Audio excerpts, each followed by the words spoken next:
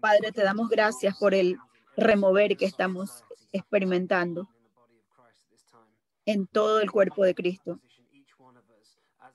Padre, que tú te posesiones es mi oración, Señor, en cada uno de nosotros.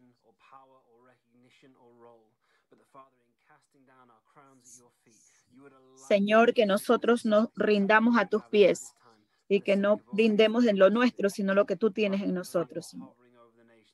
Sabemos que eres soberano en todas las naciones.